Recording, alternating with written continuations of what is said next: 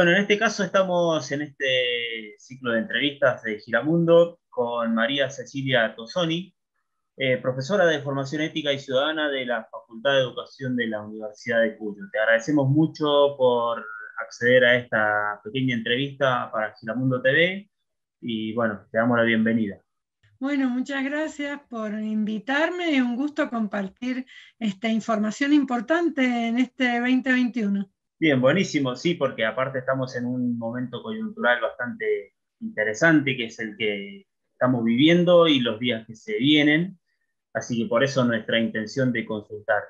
Primero y principal eh, es en torno a la cuestión electoral, a estos nuevos pasos que se se nos aproximan y que nos pudieses dar una breve reseña en torno a qué son las pasos, qué significan eso para la sociedad argentina y para toda la sociedad mendocina. Bueno, sí, eh, me parece importante, digamos, que tengamos en claro qué pasa a estas elecciones. Estamos siendo convocados en primer lugar al 12 de septiembre para votar y después sabemos que va a haber otra elección en noviembre. Eh, ¿Qué significa esto? Eh, en primer lugar, bueno, recordar que la Argentina está organizada de forma democrática, que tenemos que elegir representantes, que los argentinos elegimos a quienes nos gobiernan, elegimos a quienes son el poder ejecutivo a nivel nacional, provincial, municipal, quienes son el poder legislativo, quienes hacen las leyes, los diputados, los senadores, ¿sí? Este, ya sean nacionales, provinciales y los concejales municipales. En nuestro país no, no tenemos injerencia a los ciudadanos para elegirles ciudadanos al Poder Judicial, simplemente elegimos Poder Ejecutivo y Legislativo. En, ese marco de elecciones, que son las elecciones generales, podríamos decir nosotros, las elecciones efectivas, que eligen a quienes van a gobernar, ¿sí? Este, esas elecciones generales, eh, tenemos dos tipos de elecciones. Unas que tienen, o por las que votamos, cargos ejecutivos y legislativos, y otras que son como las que se dan este año, que se suelen llamar elecciones generales de medio término, que es cuando elegimos solo cargos legislativos.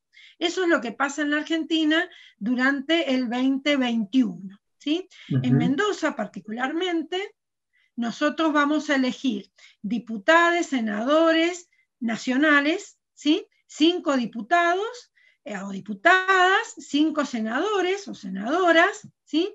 Eh, disculpen, tres senadores, eh, y además vamos a elegir senadores y diputados para la provincia que son por sección electoral. ¿sí? Eso es lo que elegimos junto con algunos concejales. ¿Qué es lo, ¿Por qué hay dos elecciones?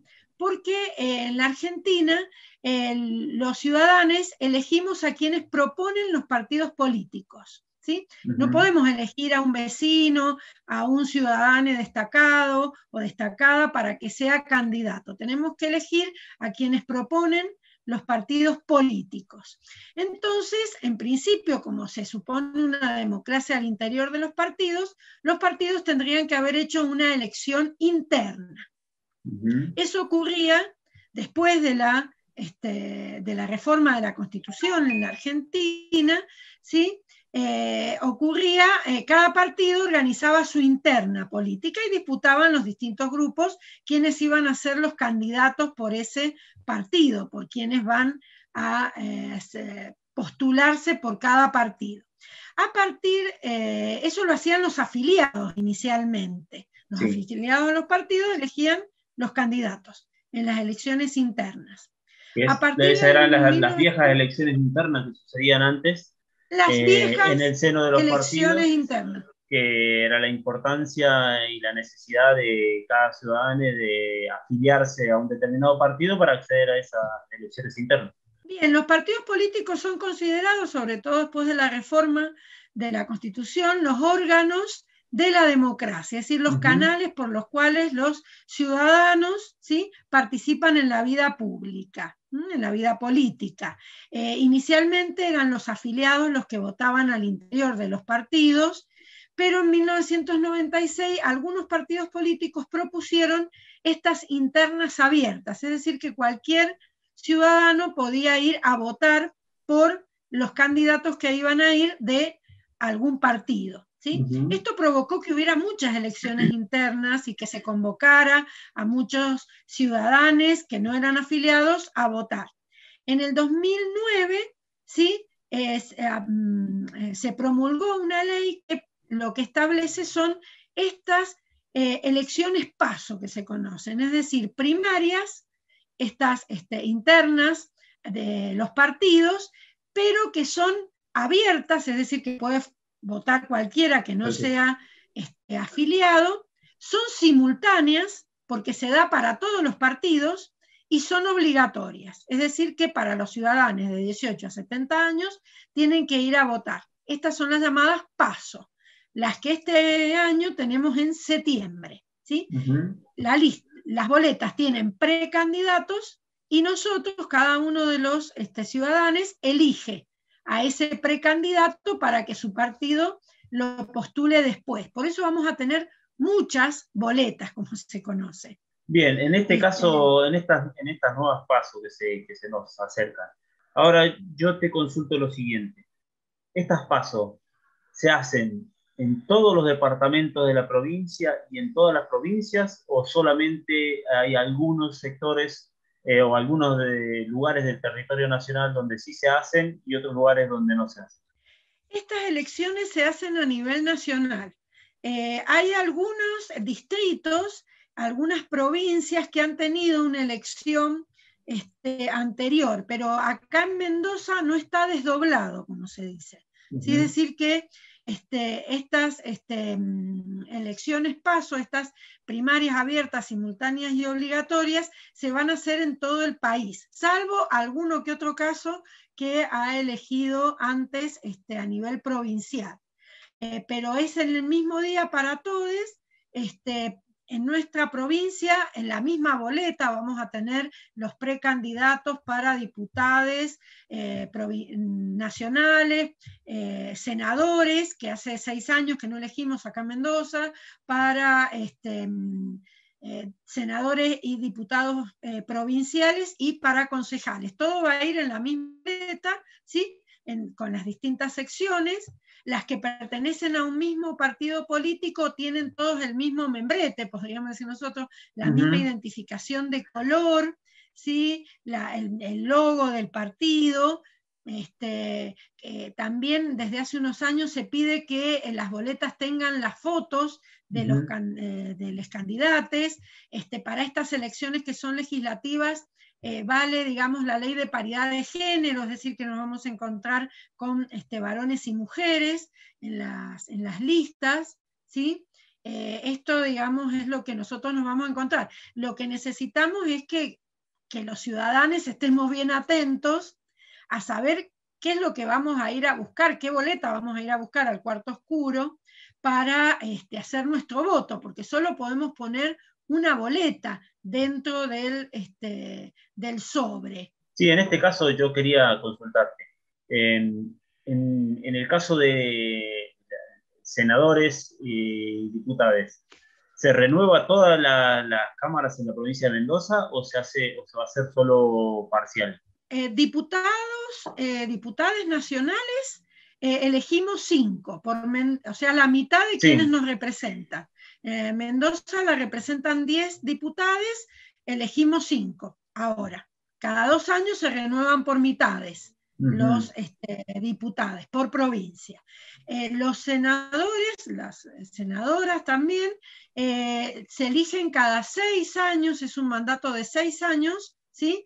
Y este, se, se eligen a los tres que que ocupan el lugar por la provincia de Mendoza. Dos son por la mayoría, por el voto, digamos, de la primer, de la primer minoría que ha sido votada, y eh, el tercero por la segunda de las minorías que han sido este, votadas. En el caso de los diputados es por el sistema DON, bueno, es más largo explicarlo, pero este, intenta que los partidos que han tenido más votos sean los que son representados en el caso de los diputados y, y senadores eh, provinciales se renuevan por mitades, al igual que los concejales también, por mitades, depende de cada eh, sección mm. electoral. Acá en Mendoza esto está pensado desde, tenemos la constitución de hace más de 100 años, entonces la, provincia está dividida en cuatro secciones,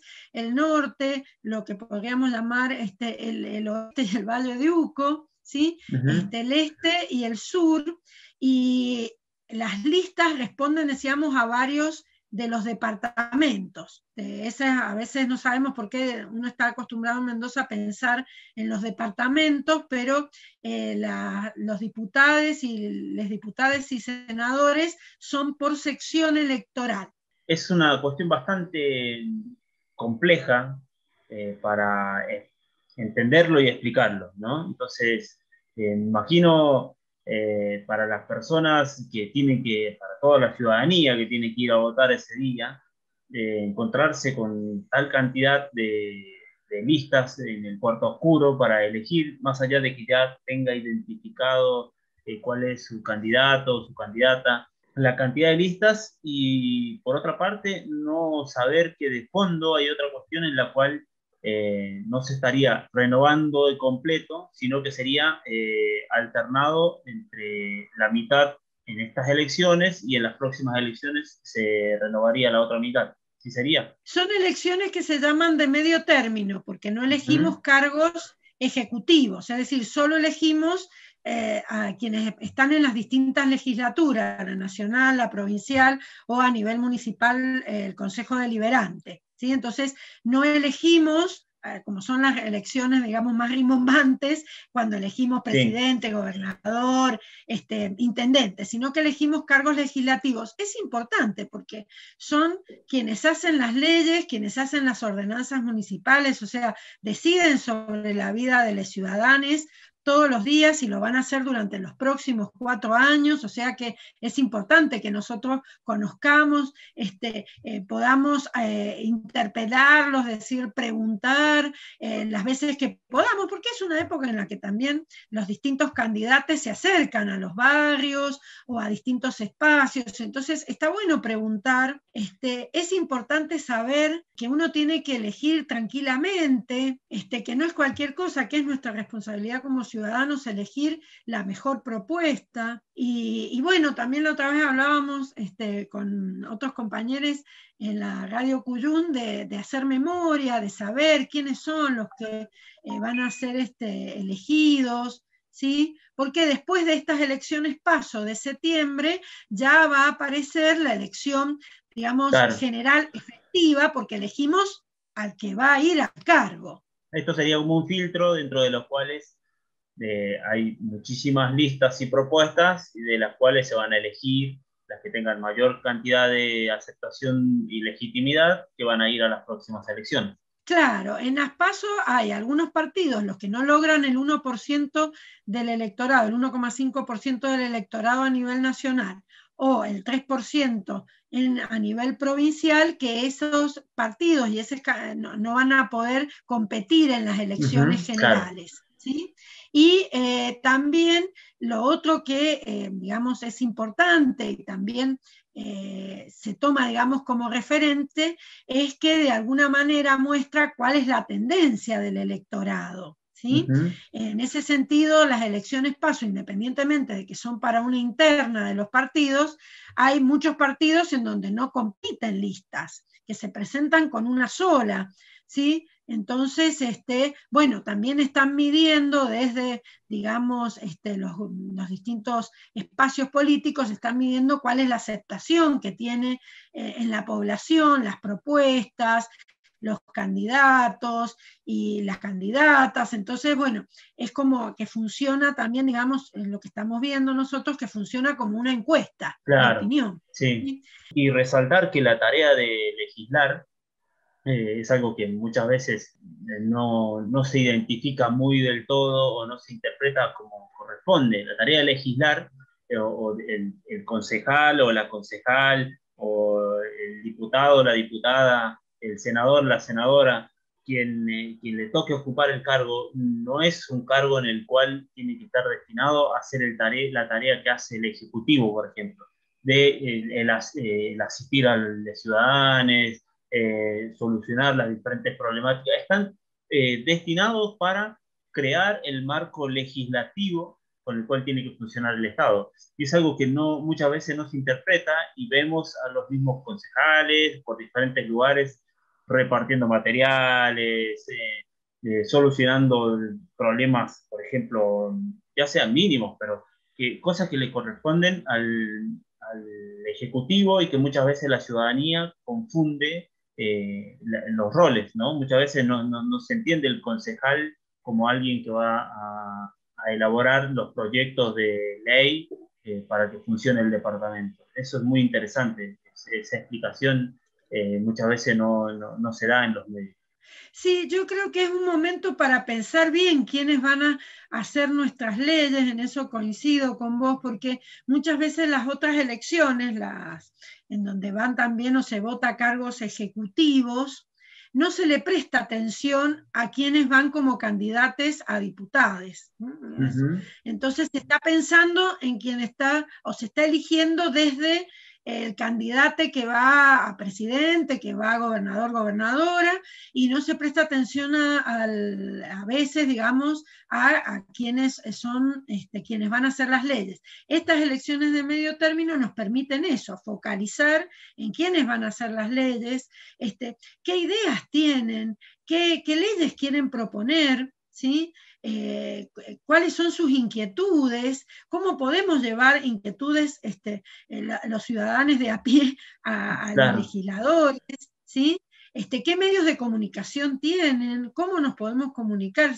Eh, creo que es un, momento de efervescencia, las elecciones son un momento de efervescencia democrática y, necesitamos participar. Es difícil, a veces en estos años de democracia, digamos, este, los argentinos hemos tenido eh, varios desencantos, pero eso no quita que pensemos que la, democracia tiene que funcionar y funcionar bien. Y para eso tenemos que participar y comprometernos, informarnos, conversar con otros. Te agradecemos muchísimo, Cecilia, por haber, eh, habernos aclarado este panorama en torno a qué es lo que vamos a votar en estas elecciones que se aproximan y bueno, y la importancia que tienen para toda la población eh, argentina y para todos los mendocinos. Así que bueno, te agradecemos muchísimo por tu tiempo.